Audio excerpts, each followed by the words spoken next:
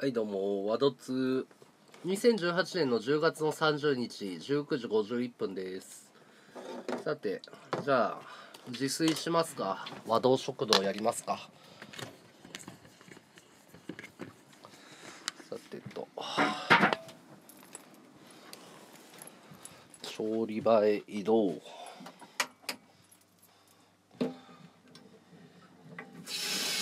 親子丼簡単かな？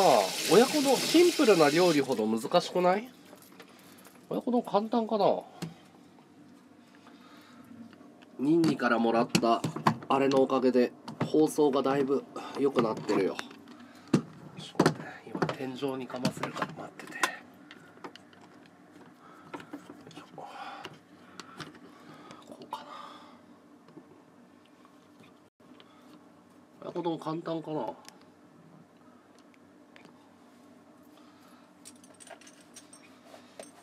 節約だねミニさん、つゆの素に材料入れて煮込むだけ。いやそのさ美味しい親子丼難しいじゃんうまく煮込んだりさシンプルな料理ほど難しいんだよ。シンプルな料理は難しい。簡単かな親子丼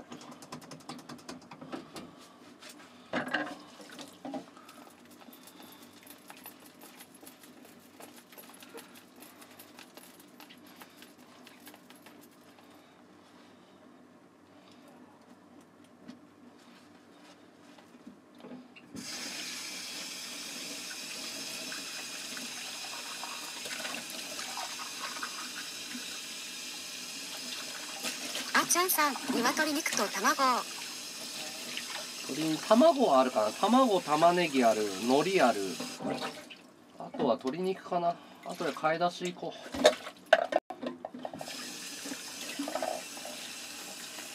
僕ダメ人間さん、携帯の方が画質いいな。そう？あれだよニンニがねあの新しくねあれ買ってくれたんだよ。広角レンズ。いいやつだよ。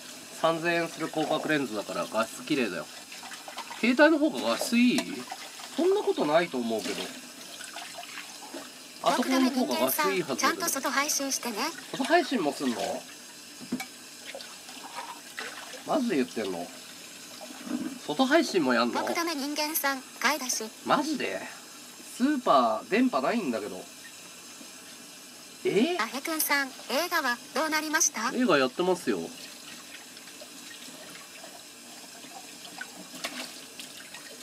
どどうなったも何もずーっとやってますよ。スケジュール通りに。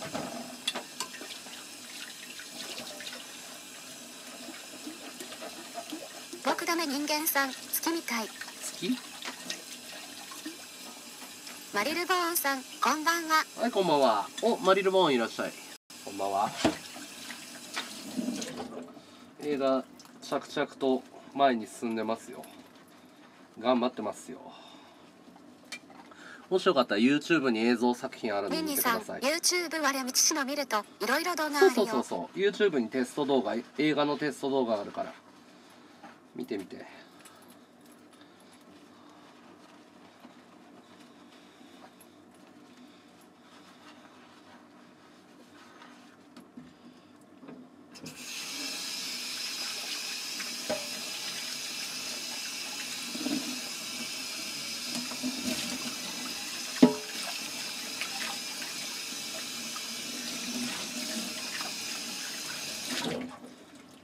僕ダメ人間さん、米何合炊くの？米3合2合半でいいかな。2合半。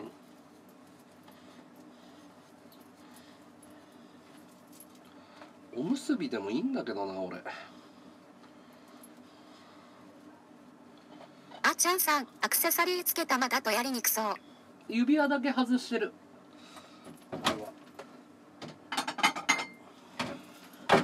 指輪だけつけてない。ミ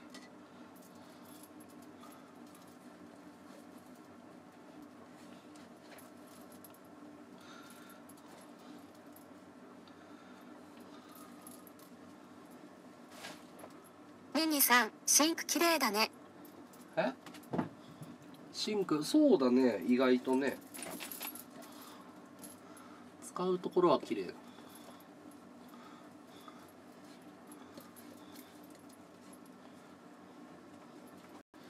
僕ダメ人間さんちゃんとコーヒーも買わないとな。コーヒーね。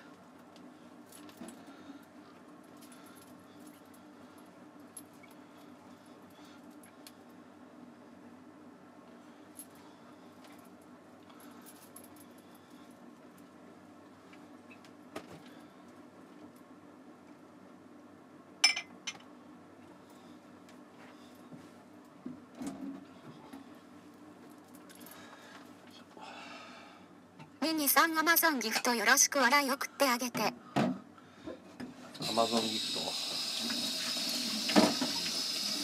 ト。ねニンニンたくさんもらったからのんちゃん喜んでる。ありがとね。ニンニンほんと嬉しいよ。もう4年の付き合いだからね。ニンニンとは。子さんリスナーだ。ニンニンは昔からずっと応援してる。子供もでかくなったでしょもう。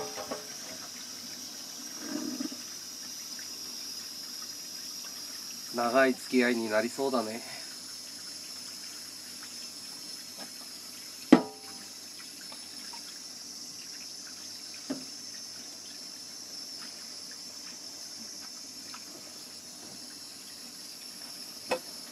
三味の時幼稚園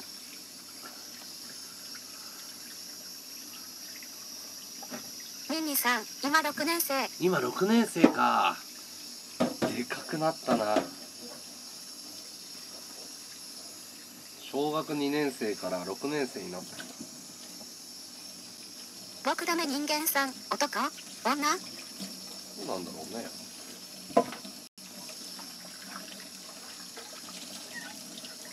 ミニさん男の子。この子だ。関ちゃんあくねさん。洗うところ狭いのかワドさんが大きいのかわからん。俺が銀河クラスにでかいからだいやこれさ思うけどこんなの料理させるつもりないよね。東京のキッチン。料理をそもそもさせる気がない。こんなので洗い物させるって無理だもんね。フライパンも入らないんだよ。これが東京の暮らしだよ。貧乏人の。関ちゃんあくねさんカップラーメンとレトルトカレーぐらい。本当だよ。支援学級の運動会参加してきた運動会？いいね。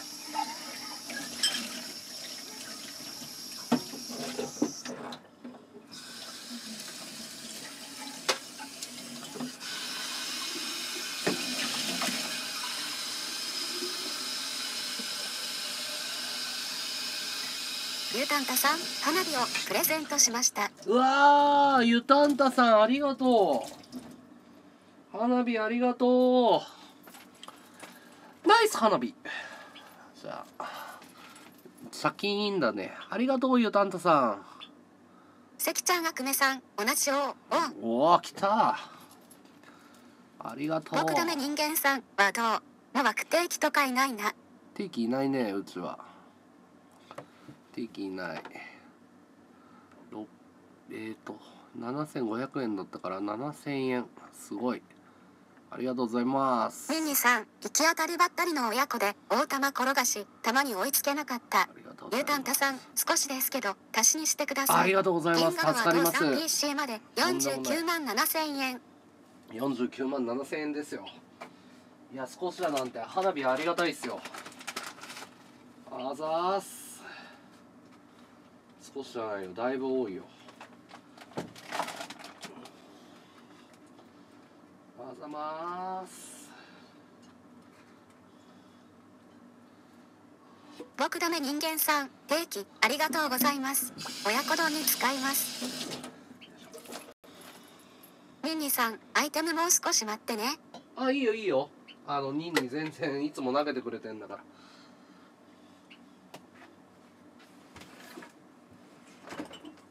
ら。投げられる時に投げてね。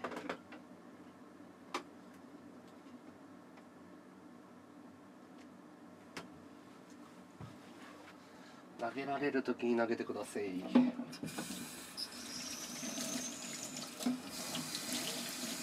僕ダメ人間さんアイテムもう少し待ってね。お前は投げたことないだろ。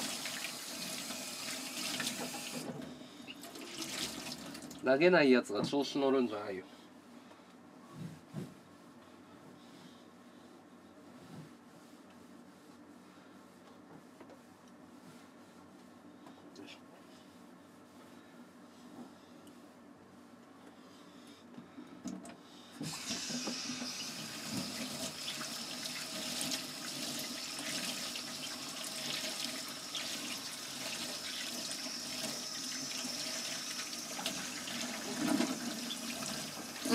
さん初見。はい初見いらっしゃい。綺麗だなわらわら。キッチンが汚いのトイレが汚いの許せないんだよねエアイテム投げたことないのに定期とかなってたよ。定期？えななってた？定期僕ダメ人間さんピカピカやんわら。ピカピカだね。うん。キッチンは綺麗な方がいいよ。食べ物だからね。食べ物を扱う場所が汚いってことはダメだよね。口に入れるもんが汚いっていうのはありえない。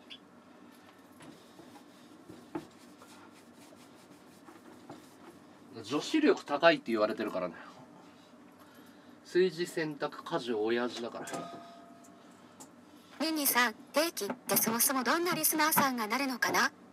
わかんない。定期リスナーだ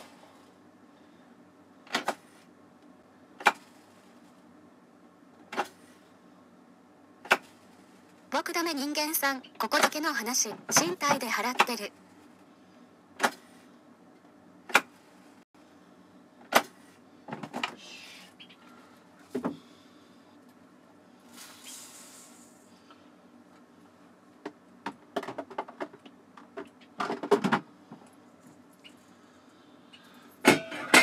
ミニさん意味わからん。コメント控えください。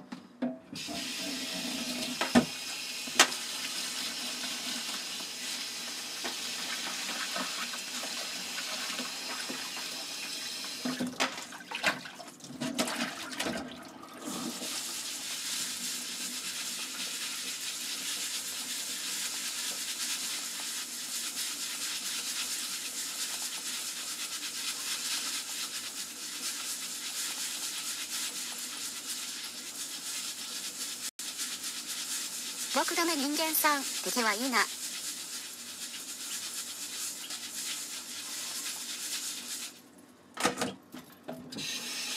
ミミさんシンク綺麗な人見てて気持ちいいですね。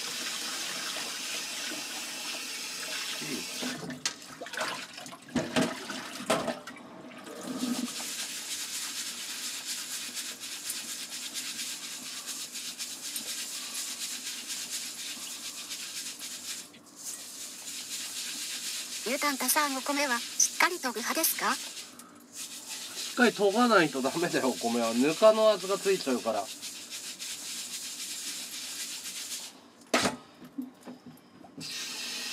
っかり研がないとダメよ。ただあんまり研ぎすぎちゃうとお米の形崩れたりとかするから優しくね。優しく素早く。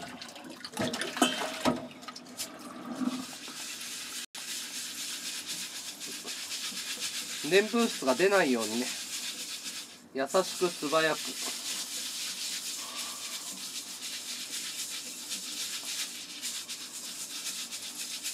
ミニさん無洗米とかあんまり好きじゃない。僕ダメ人間さん。無洗米ダメだね。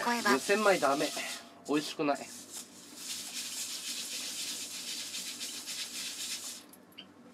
味が悪い。無洗米はありえないね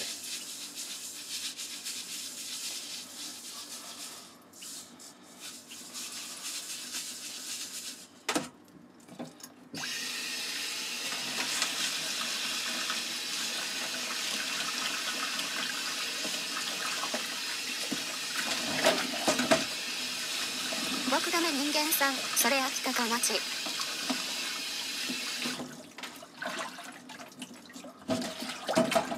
これはねあの山形のねえーっとなんだっけつや姫。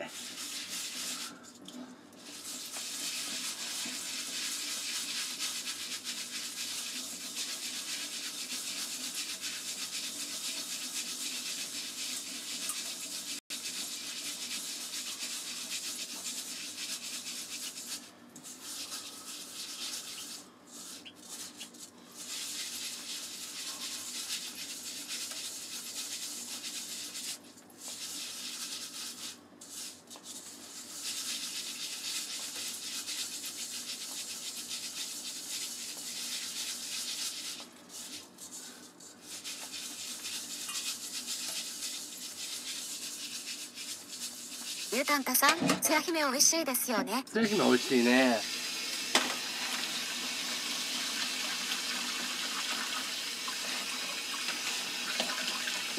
山形は食いもうまいかんね。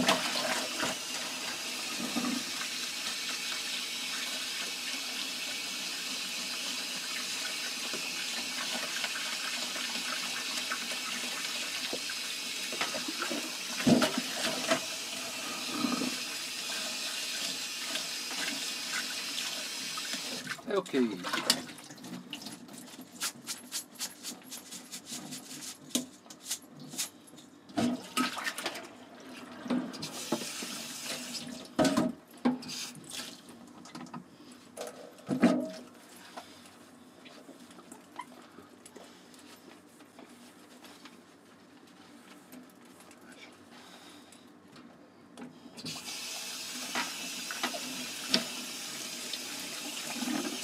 テムキッチンの家いつか住みたいな。そしたら料理配信とか正面からねちゃんと撮れるんだけど。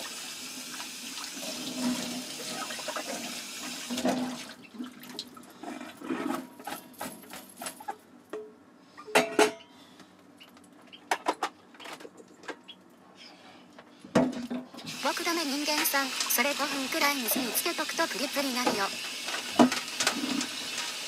5分じゃ1時間だよ冬場は。5分じゃ足りないよ。冬場は1時間ね。そんな5分つけてるだけじゃダメだよ。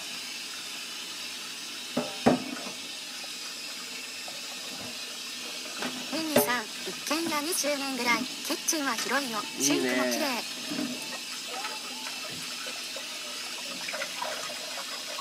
古民家みたいなのもいいな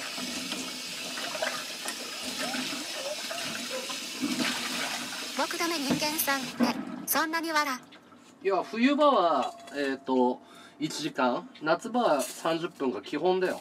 お米は。基本基本。主婦だったら誰でもやってるよ。米が水が浸透しないから。意外中まで。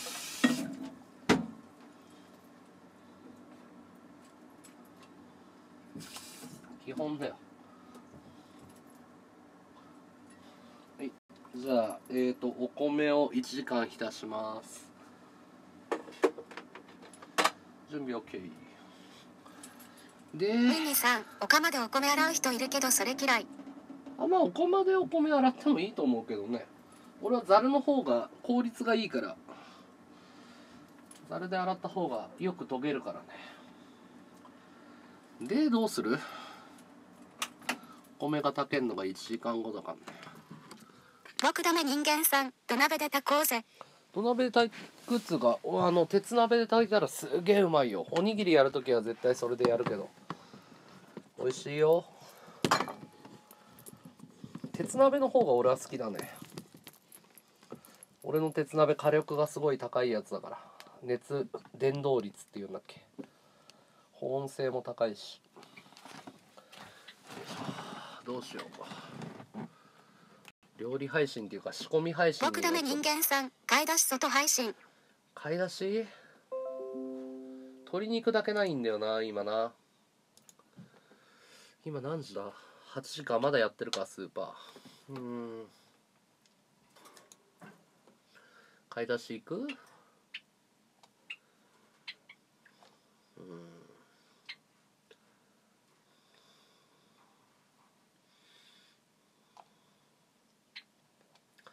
買い出しね。ミンニさん家に何あるのかな？玉ねぎと卵があるから鶏肉があったら親子丼は作れるけどね。ミンニさん冷蔵庫。冷蔵庫何もないよ。玉ねぎと本当に卵があるだけ。卵賞味期限大丈夫かな？何もないよ食材。玉ねぎと卵しかない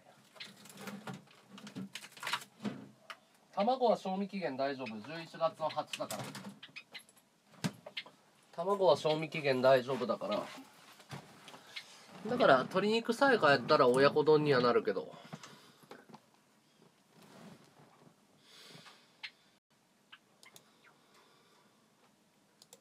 さん、梅雨のもとでやればまずくならない。まあね。うん。ただねあの火の通し方が難しいんだよ。卵をこうトロトロにするのが。親子丼何回も失敗してるからな。トロットロの半熟になるのがね難しいんですよ。ミニさん、炒めたらダメ。うん。温度だからね親子丼は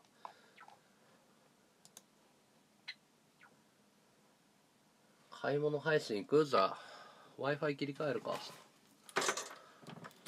買い物配信。僕ダメ人間さん、盗んだよ。そうそうそうそう。盗んだけどミニさん、ね。とろっと、感がないと美味しくない。ねルトロッとね。親子丼作るけどトロトロにはならないですね。ならないんだ。ミニさん、のんちゃん何してるの？のんちゃん家。最近はねあのワンちゃんとねワンちゃんと猫ちゃんがあのちょっとなんだろうのんちゃんがあんまり家にいないからホームシックになっちゃってるからなるべく家にいるようにって言って。2人で家族会議してちょっと俺の家に来すぎてるからあの3日に1回とか2日に1回遊びに来るように言って。そしたらワンちゃんと猫ちゃんが減ら減らったのが治ったんだって。だからあの今はそういうペースかな。2日2日間自宅にいてえっ、と俺の家に3日2日3日で遊びに来る。でお泊まりする。でワンちゃんと猫ちゃんのために家帰るって。そういう感じかな。家のことやってるね。偉いよ。2年間付き合ってきて浮気とか1回もしてないから大丈夫だよって言って。もうそろそろ信用していいでしょって言って。そしたらのんちゃん元気出た。ワンちゃんと猫ちゃん元気出たから。もともと優しい子なんだよのんちゃんは。ミニさん、ありがとう。うん。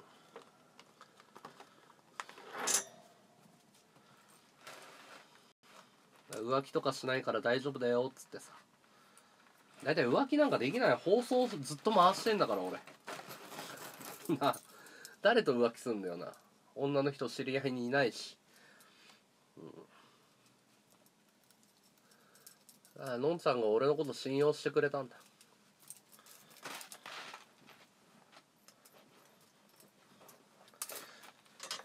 モテる男は辛いな。僕ダメ人間さん、ことか。俺子とかと会ったことないよ一回も。ミニさん、誤ロムってるかもね、ショー。俺子とかと会ったことそもそもないもん。なんで俺が子とか好きみたいになってんだろうね。子とかと恋愛関係になんかなってないよとかが俺のこと好きになるわけないじゃん。ネットアイドルだよ。子とかは。よくよく考えてごらんよ。あれ？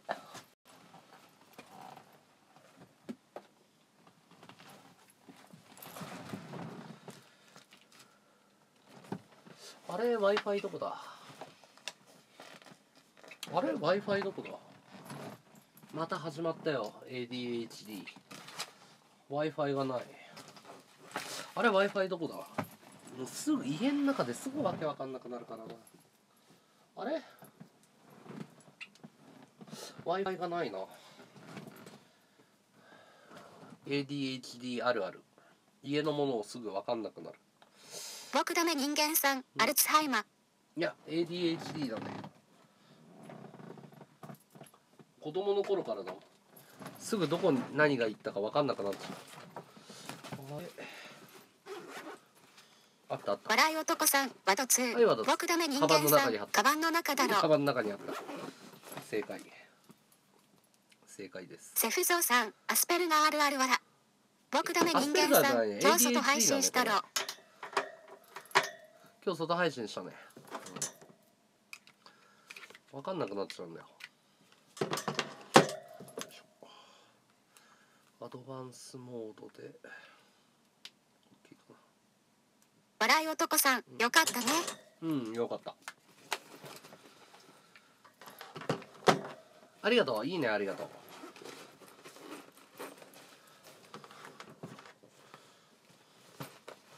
外配信やんないとダメなの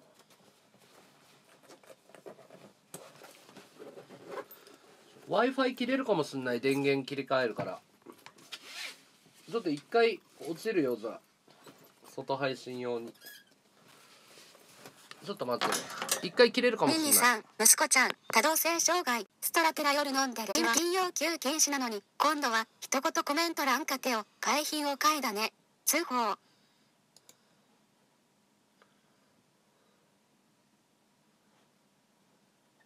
ん動いてる？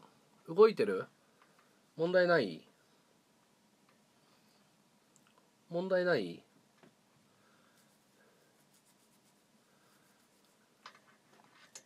問題ないですか？どうっすか？どうっすか？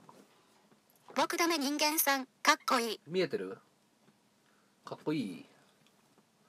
何が映ってる？ゆうたんたさん、大丈夫です。何が映ってる？あれ電波誰が映ってる？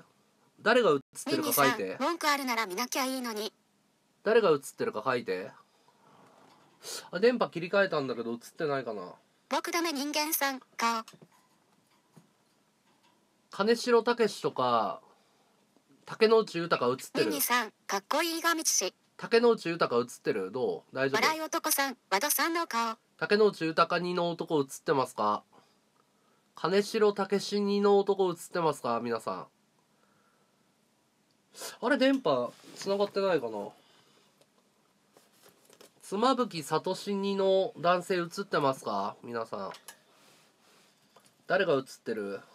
僕ダメ人間さん、絵頭映った。電波悪いのかな？電波来てない？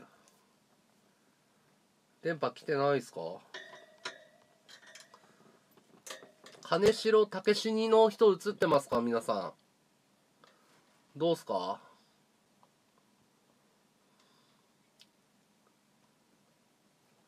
金城武史にの。僕ダメ人間さん、電波強行。あれ電波悪いのかな？電波悪いのかな？竹之内豊にの男が目の前に映ってますか？携帯電話に。映ってますか？ヒデ05023、レーザーラモンのコスプレしないの？僕ダメ人間さん、絵頭なら。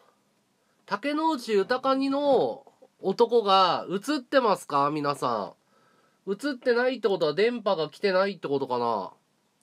竹之内豊にそっくりなイケメンが携帯電話に映ってますか皆さん。映ってる？映ってないってことはこれ外配信できないな。映ってますか皆さん。竹之内豊画面に来てます？竹之内豊皆さん竹之内豊画面に映ってます仏か。皆さん竹之内豊にそっくりなイケメン配信に映ってますか？あれ電波電波来てないのかな？あれおかしいな。映ってない。竹之内豊どこ？竹之内豊にの人電波切り替えたんだけど映ってない？皆さん僕ダメ人間竹さん、電波ついよ。顔に関してはあ生まれた時から豊映った和道のあよかった勘違いだよ。電波来てるねじゃあ移動します豊クリ卒8はい万、クリソツですね。はい、よかった8888。よかった。映った。よかった。竹之内豊映ったら問題ないですね。じゃあ行きます。はい、行きましょう。買い物行きます。よいしょタイムラグがあったのかな？うん。若さん、竹之内豊は今日何を作るの？今日ね竹之内豊は親子丼作るね豊丼僕ダメ人間さん、コーヒーの自販機移して。コーヒーの時間いつも？ミニさん、竹之内豊じゃなくてもファンです。え竹之内豊じゃない？電波ないな。ちょっと待って。竹之内豊じゃない？電波がないな。ちょっと家に確認するわ。あれ電波おかしいな。竹之内豊じゃない。僕ダメ人間さん、そう。なんでだろうな。ゆうたんたさん、竹之内豊です。あ竹之内豊映った？あじゃあ行きます買い物。はい。買い物行きます。なんだよ。大丈夫じゃん。電波あるじゃん。ごめんなさい。竹之内豊です。竹之内豊だよね。大丈言いわわら若さん料理配信が進まない M いやだって電波が届かなかったら。広しあった水沢海さんこのくだりいる。竹之内豊が映ってないってことは電波が来てないってことだからね。えっとここが俺の家ですね。まず。これがあのプリンセスガーデンズここ。この自転車があるところ。見た目は一軒家っぽいんだよね。うん。わかる？ここが俺の家ででここをまっすぐ歩いて道がね綺麗になったんですよ。でここをまっすぐ歩くでし若さんょ一軒家みたいだね。一軒家みたいなアパートでこの道をまたぐと、人間さんなかなかいいな。うん、ここ渋谷区。こっから先渋谷区ね。でのんちゃんが行ってる銭湯があれあの2階建ての銭湯なんだけど羽ミ衣湯。ミさん自転車盗まれないのかな？あちゃんとチェーンつけてるよ。で俺がコーヒー買ってんのは羽衣湯の自販機。ここはのんちゃんがいつも行ってるヤクザと喧嘩した銭湯。ゲイの発展場。東京でめちゃめちゃ有名。ここで買ってるこれ。OK140 円。あいつもコーヒー買うの早いでしょ。関ちゃんあくめさん気をつけて。あテンパすごいよ。いや東京に住んでる人だったら超有名な発展場だから絶対知ってるよ。で西新宿の芸能人が住んでる毎日は高いよねじゃあ元に戻りましょう。僕ダメ人間さんすげえ W とかいすごい都会だよ。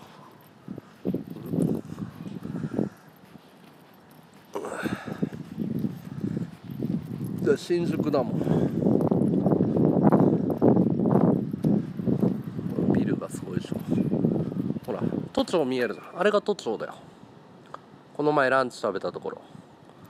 ピーナッツさんお疲れ様はいおです疲れ。あれが都庁ね。ツインタワーがで日本一高いマンションがあれ。もうすぐ大阪にもっとでかいのができるんだけど。いろいろ見れていいね。僕ダメ人間さんいいな。家賃安いなわら。だからここら辺で6万とかありえないんだって。この辺で6万破格だよ。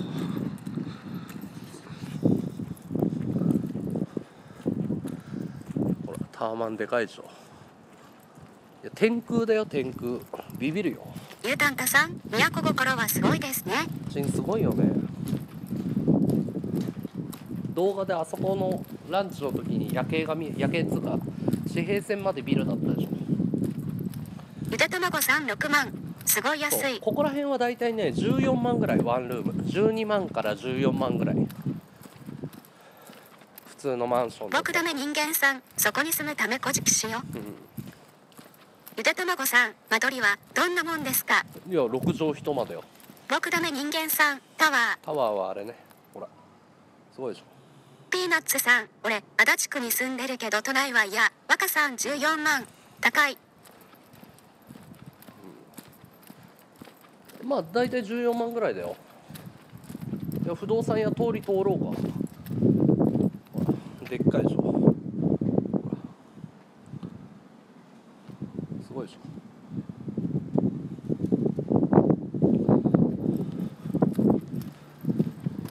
あ新しくできたタワーマンション。こんな地震来たらどうすんだろう。最上階3億円だってよ一部屋。下でお米屋さんやっ人間さん家賃いくらだろう。2に3家賃いくらだっけな？一部屋40万ぐらいじゃないの。6 7畳6畳7畳のワンルームでだいたい14万ぐらい。一部屋3億だって。下でお米屋さんやってたおじいちゃんが最上階に住んでるよ。静かじゃないもん都内は交通とかは困らないけど落ち着かないよね。うん俺も田舎暮らしが好きだね。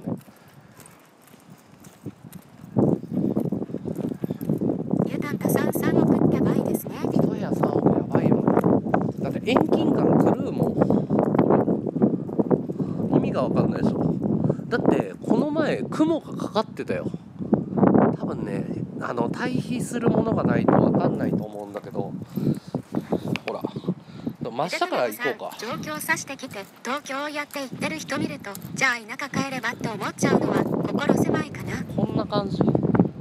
わかる。画面に入らないのわかるほら。意味がわかんないでしょ。タワーの高さ。ここは地上なんだけど行くよ。いかに高いかわかるでしょ。客寄せパンダさん他人の家を映すな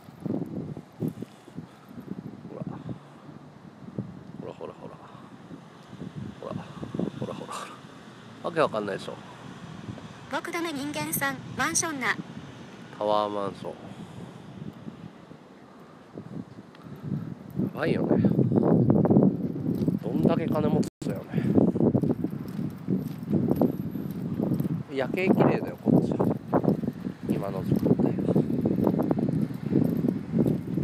でさんどうしようじゃなくて意外とちゃんと住ん最でますね。近明かりが増えてきたねだいぶ最近明かり増えてきた。もうできたばっかりの頃はねスッカスカでねこれ大丈夫なの？って言ってたけどやっぱ人気あるんだね。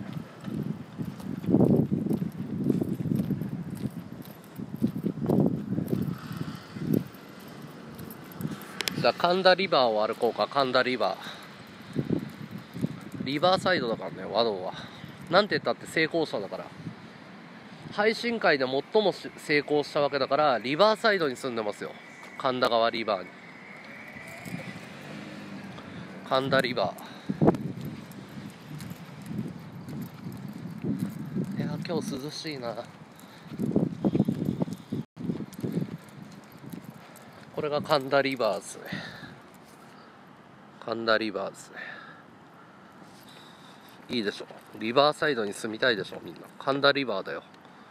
神田リバー。僕ダメ人間さん。いやまだ成功してないよ。いや神田リバー。神田リバーサイドに住んでる時点で成田では勝ち組だから。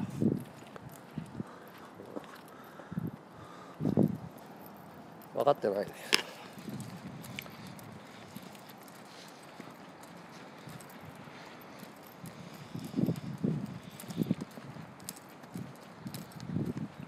柏木さん和ドツはい渡つゆでたまごさんリバーサイドはその昔エタさんの住処でした。そうだね。僕ダメ人間さん河か原門って呼ら歩けよ。ばれてたからね。河原門。綺麗でしょ？ピカピカしてるでしょ？ほら。いいでしょ？シティボーイって感じでしょ？シティボーイ綺麗だよ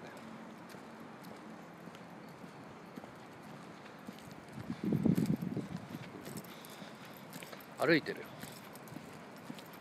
ゆうたんたさん都心の光って感じですねそうだから空が明るいんだよあのほら夜が来ないの空が明るいの分かるチェーンソーブラモトさんこれがねあの成田とね田舎と東京の違いで空が若干明るいの分かる夜なのに街の光が反射してうっすら明るいんだよ新宿って夜が来ないのほら雲明るいの分かる？これがねなんか東京に住んでるなって感じ。空がこの夜8時でもこんだけ明るいっていう。すごいでしょ？街の光が反射してんの雲に。夜が来ないの。うっすら明るいんだよ。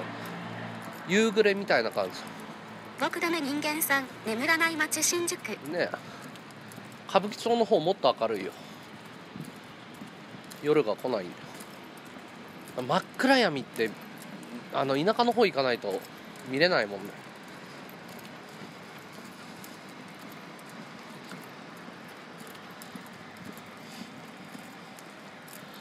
見慣れたけど。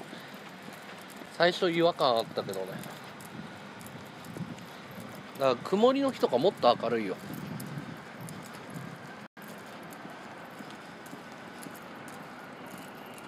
まあ宇宙から見てもね新宿とか東京とか明るいもんね。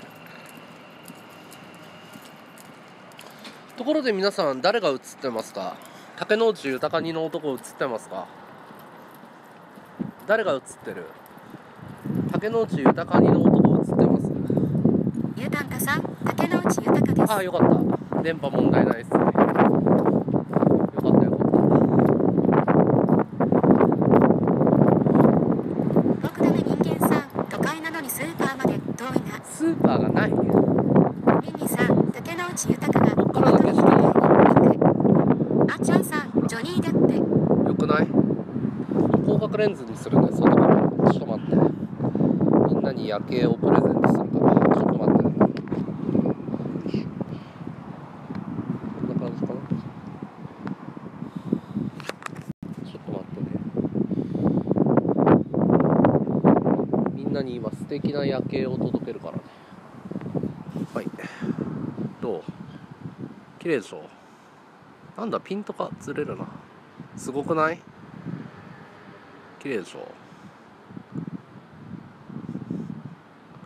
よくないですか？なんか新宿とかに住んでるとこんな感じだよ。人が住むところじゃないよね。あっちゃんさん綺麗。うん。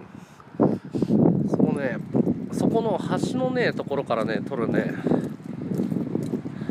ね北海道の人とか沖縄の人とか新宿ってこんな感じなんだと思うよね。そこからねそこのそこから映すのが綺麗。綺麗だ和道の心とは新曲だねちょっと待って今映すから大通りで撮るこっからね写真撮りたいんだよねこういう感じで川沿いの。いいでしょ。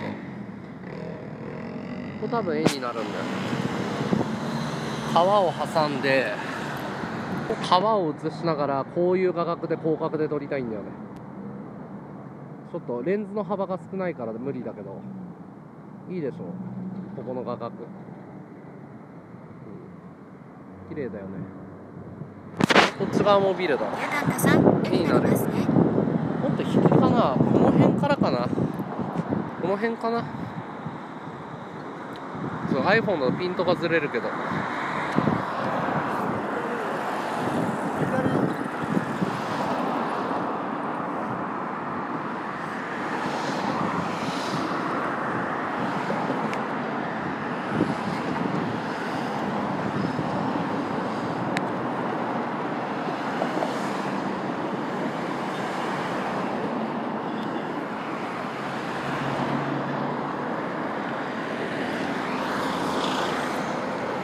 いますか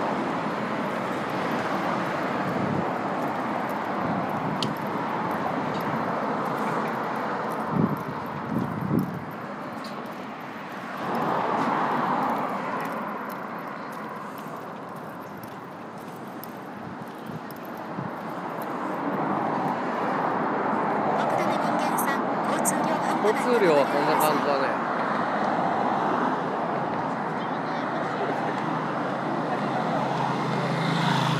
今でもそんなに車の通りないよ。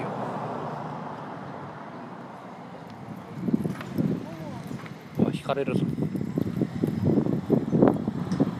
まあだから突き当たりが歌舞伎町だね今見てる突き当たりが歌舞伎町。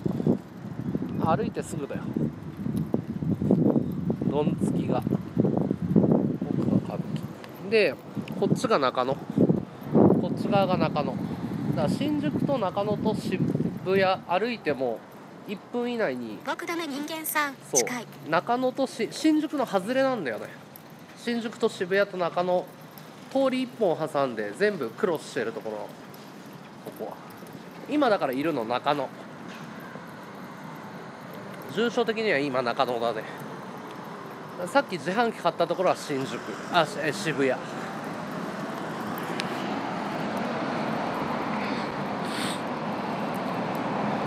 そういうところです山山手通りの手前だね。だか？らこれはなんだっけ？十二社通りだっけ？なんだっけ？これ何通りだ？今山手通りに向かってるんだけど。これ何通りだろう？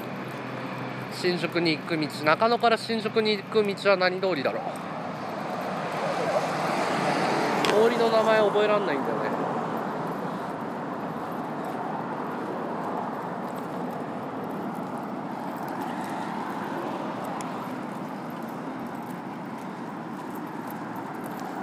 鶏肉だけでいいかな？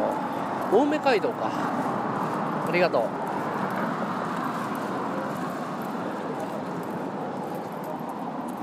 寒い？ねこのお前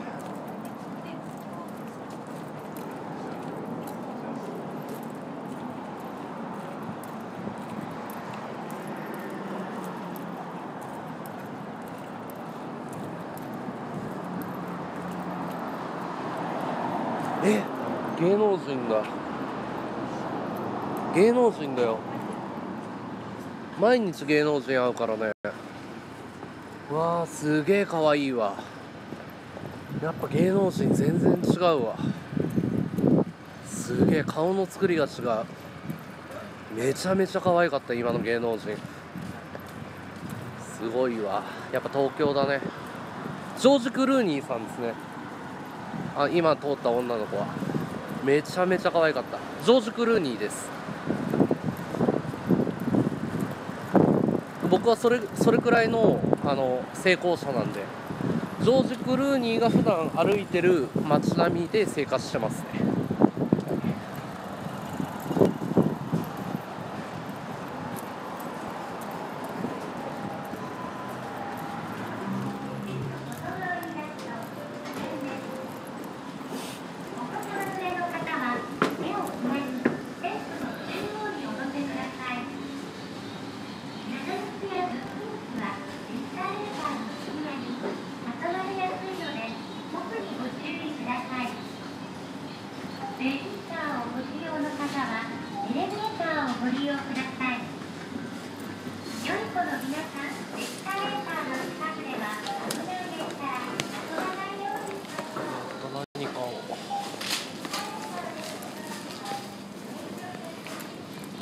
ザジェニファー・ロペスにするわ。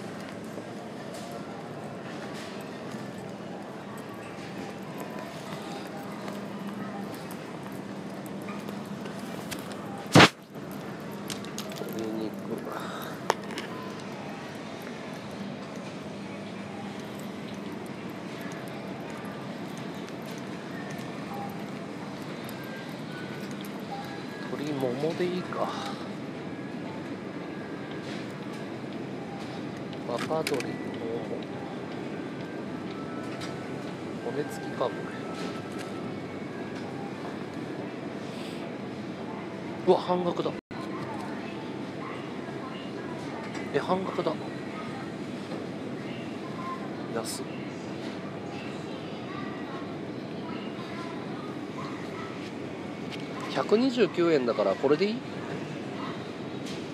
?129 円だからこれでいいよね節約で。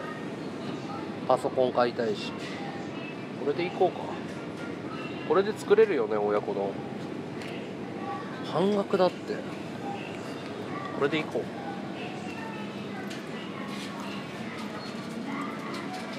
手羽元だけどよくない？ダメ？無理かな？だって120円だよ。安くない？骨あるよ。えダメ？半額だよだってみんな。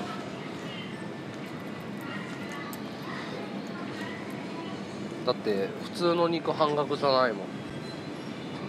普通の肉半額じゃないよ鶏もも。380円だよ。100円の方が良くない ?120 円。いやこれで作るわ。今パソコン買うために。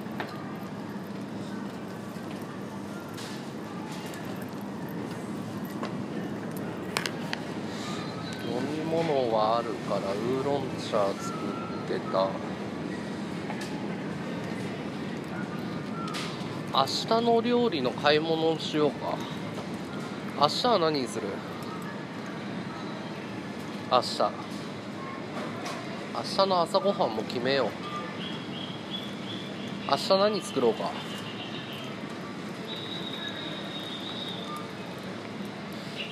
明日のご飯何しようか？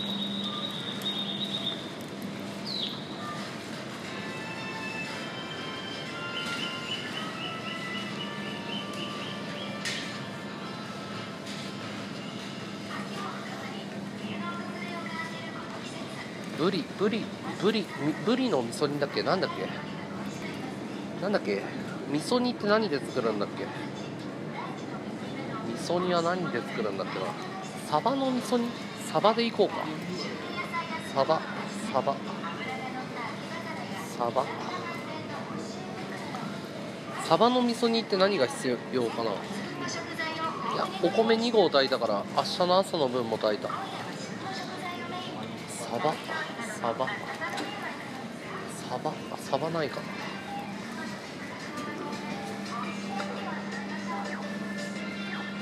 アジサバないの？アジイワシ。アジばっかりだな。サバ。サンマ。サバがないな。サバがない。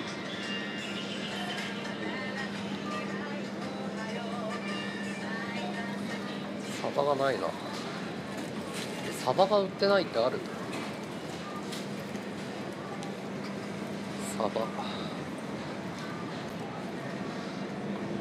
サバってどこで売ってんだ？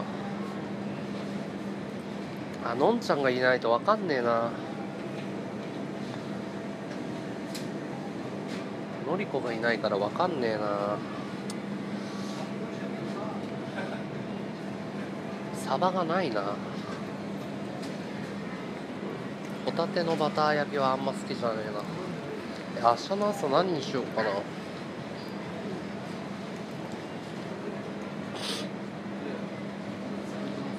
しよう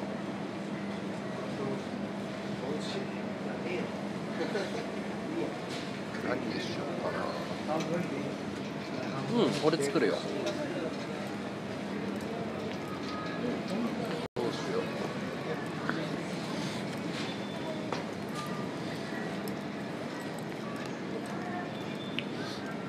なんかない。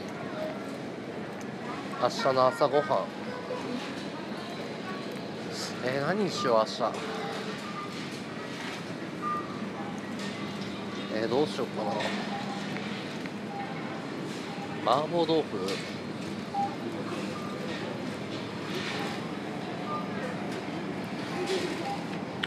どうしようかな明日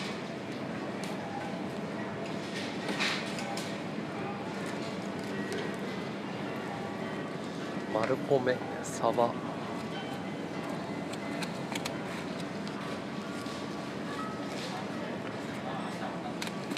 冷凍か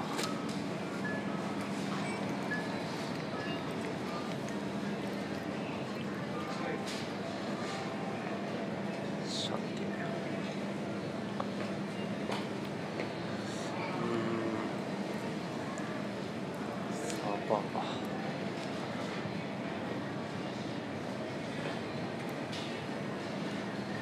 メカジキの首肉。なんかメカジキで作れるやつある？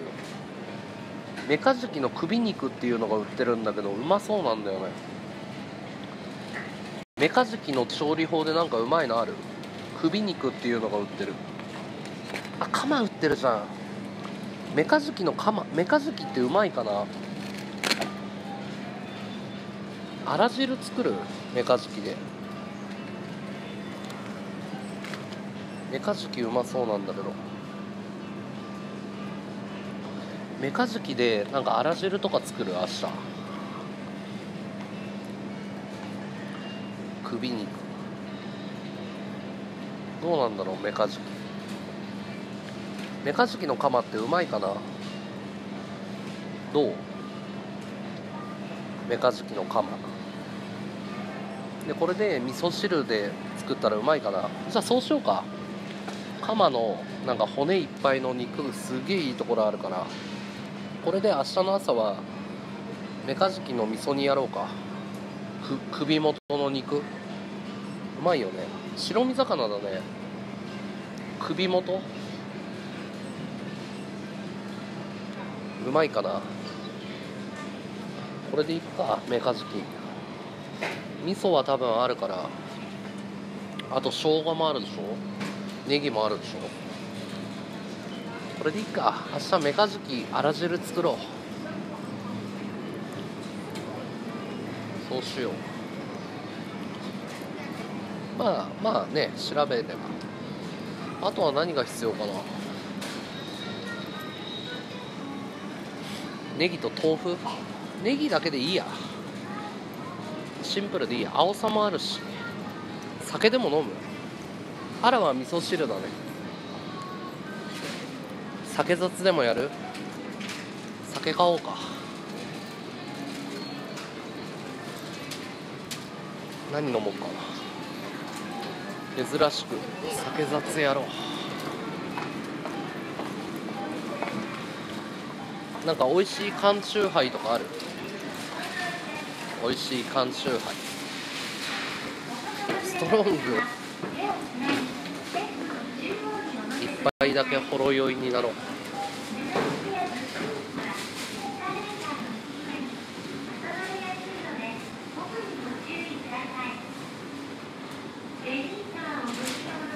氷結はうまいのかな。一杯だけね。寝酒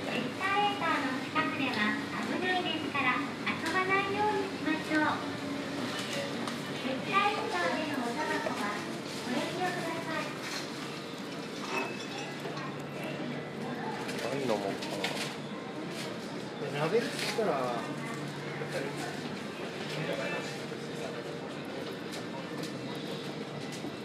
じゃあイエス日本酒な何がいいかなカロリーが好きなんだけどカロリー売ってないんだよななかなか。なんでカロリーって売らなくなったんだろう。人気なかったのかな。カロリー美味しくない？カロリーないな。カロリーのブドウ好きだったのに、うん、あスーパークリックさんありがとうございます。うんないな。カロリーがない。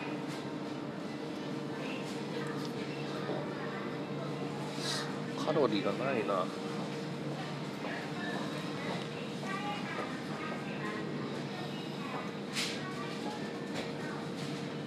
なんでないんだろうカロリー。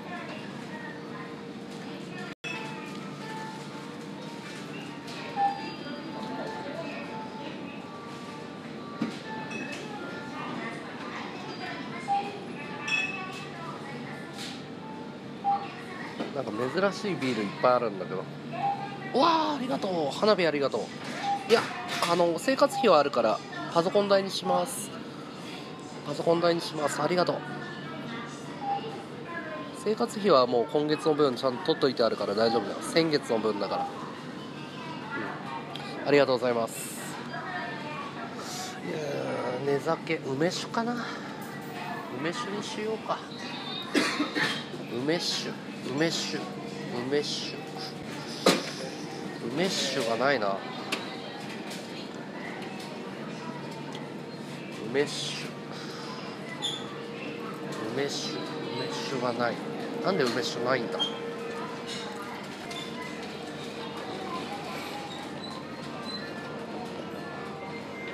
梅酒がいいね。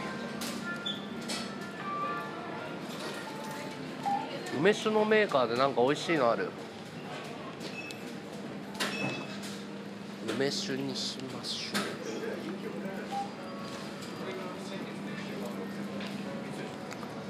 梅酒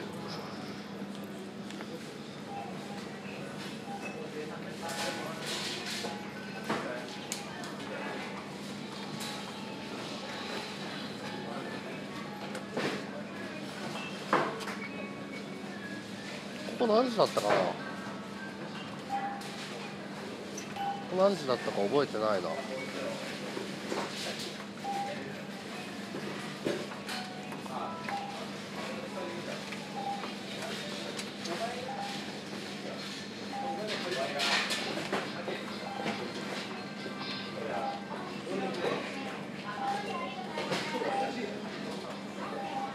梅酒いっぱいあるんだけどどこがうまいんだろう。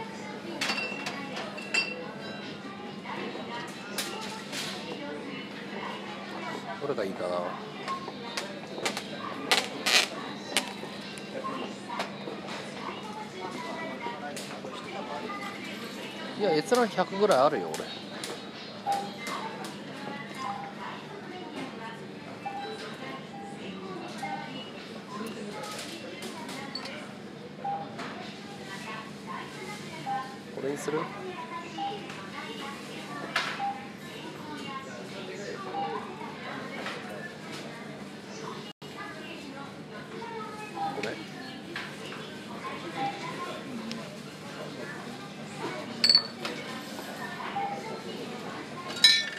取れたて梅酒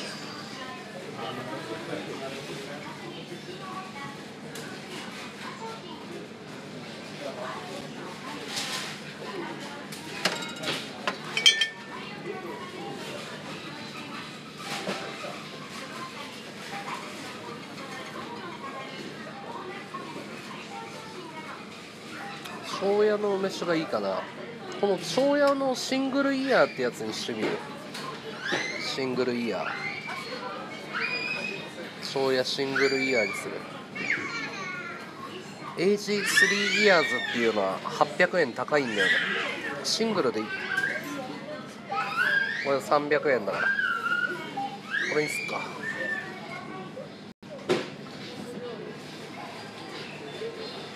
シングルイヤーにします今日は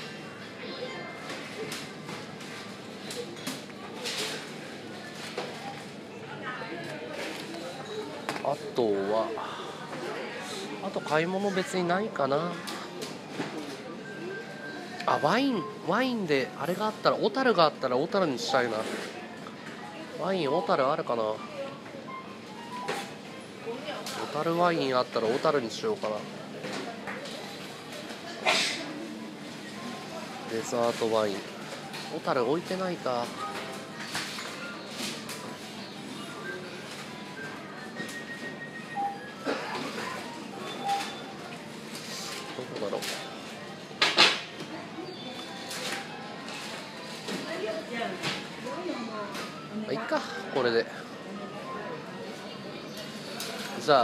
とカジキの首の部分と鶏肉と梅酒です。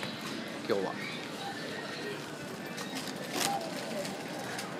お願いします。はい。今日ご利用になりますか。あお願いします。ではいただきます。はい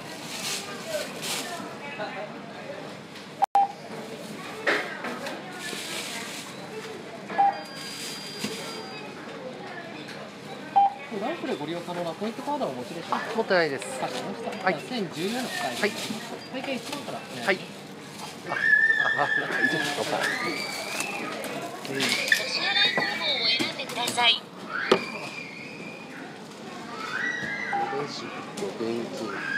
お支払い方法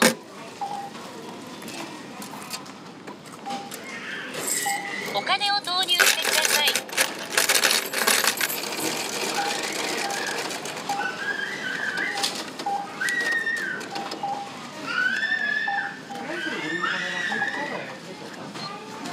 お金を投入してください。この内容でよろしいですかお釣りとレシートをお取りください。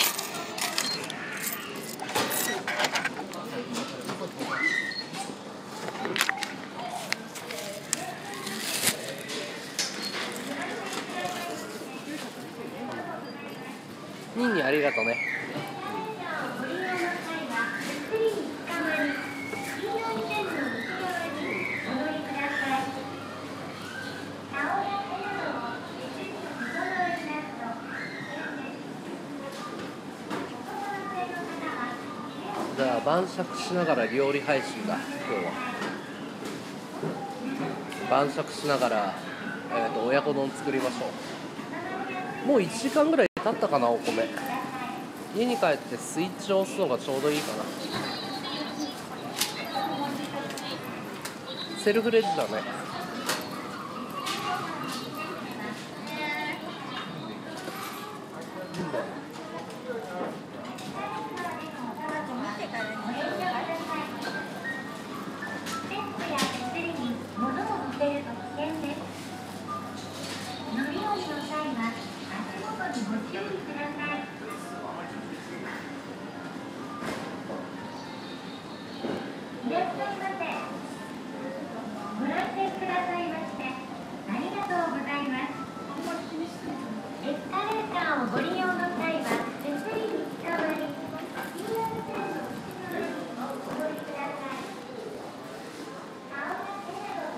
何これ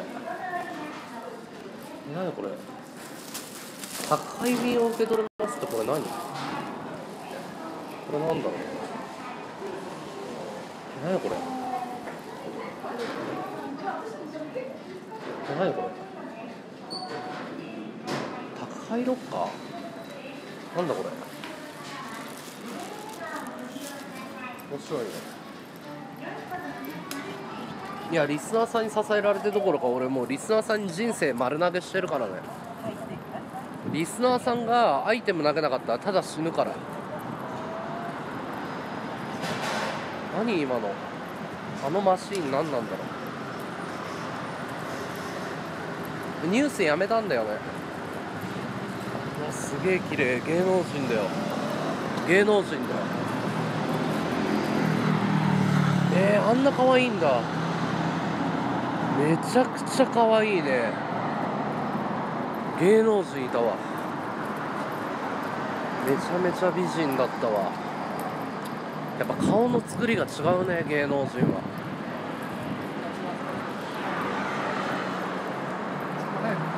もうすげえ美人だったわ。7頭身8頭身ぐらいあるんじゃないかな。もういやすげえ可愛かったよ芸能人やばえー、受け取り先指定のロッカーにする。えー、すごい。住所持ってなくても受け取れんじゃんじゃんすごいね。最先端だね。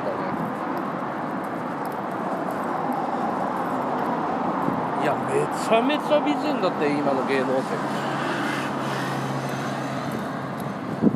超可愛かった。やっぱテレビ出てる人は違うね。テレビ見いやもうスーパースターは違うわやっぱ。こんなに可愛いんだ生で見ると誰でしたか？あジョン・トラボルタさんでしたね。ジョン・トラボルタ。まつげクリンクリンだったよ。8頭身ぐらいあるんじゃないかな。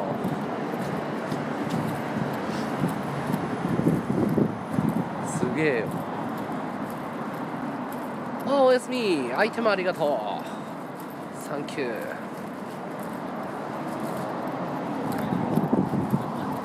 そう。ジョン・トラボルタさん。日本が誇る名女優ジョン・トラボルタさんです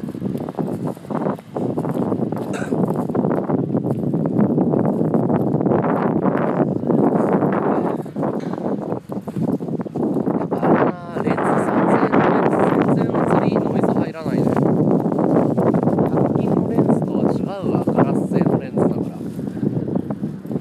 今までのレンズさ汚れとか歪みとか気になってたでしょ。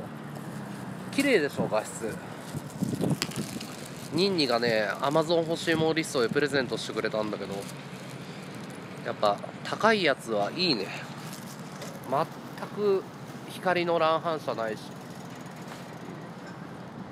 釣りがすごい綺麗。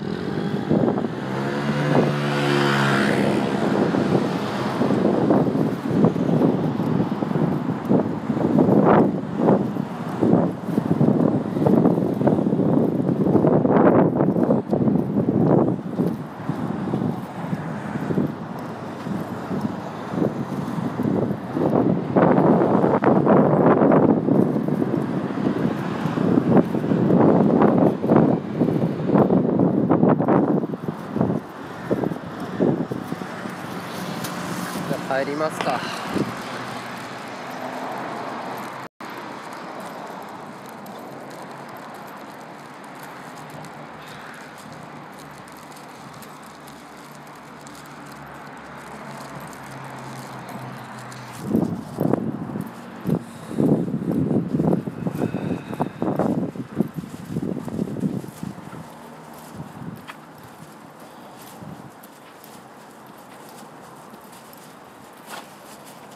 外寒いですよ。だからね子供の頃にさ小学校の同級生にさ冬場でも短パン半袖の男の子いなかったっすか？小学校の学年に1人ぐらい冬場でも短パン半袖の男の子いたでしょあれ僕です。あの子は僕です。あれ俺。寒さ耐性が異常に強いっていう。謎の男。あれ俺です。はい。あれ僕です。あれが大人になるとこうなるんです。いたでしょ。何人もいた。あれ僕です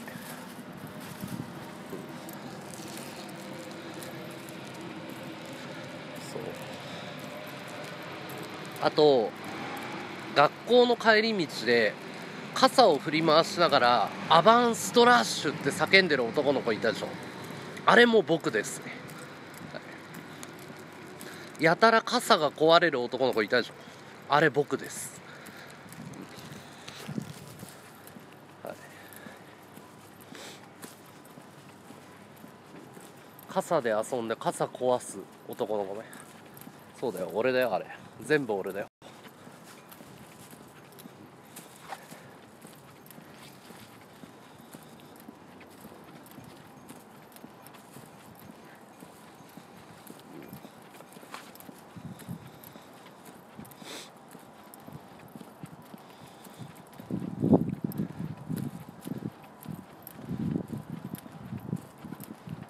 でえっ、とねあのに通報するわ。って言ってんのってクラスにいた先生に言ってやろう。って言ってた男の子いたでしょ。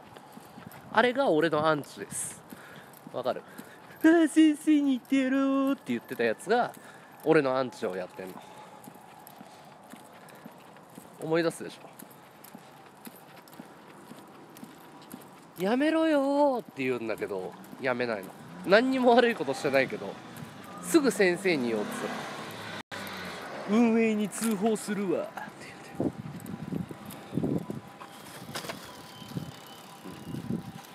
バカありがとう。だ大体ね小学生の時どんな過ごし方をしてたかでどんなリスナーとどんな配信者になるか大体わかるね。小学生占いっていう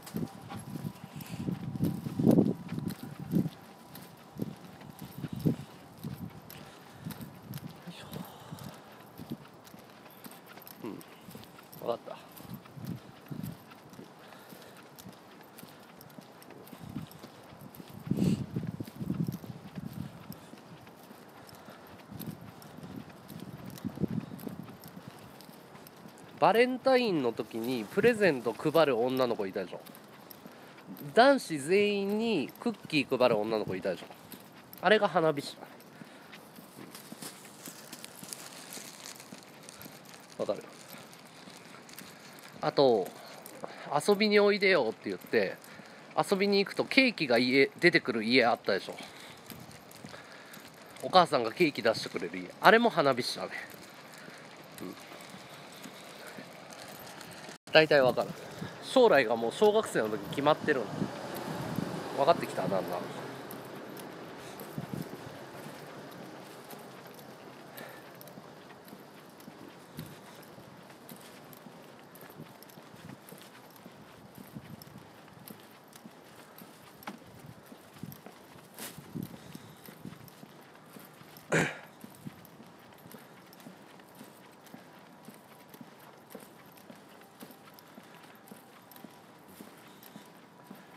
ダメ人間はねネクラだね。ダメ人間はネクラ。友達が一人もいなくてネクラだったね、うん、ネクラだったね。小学生の頃ね。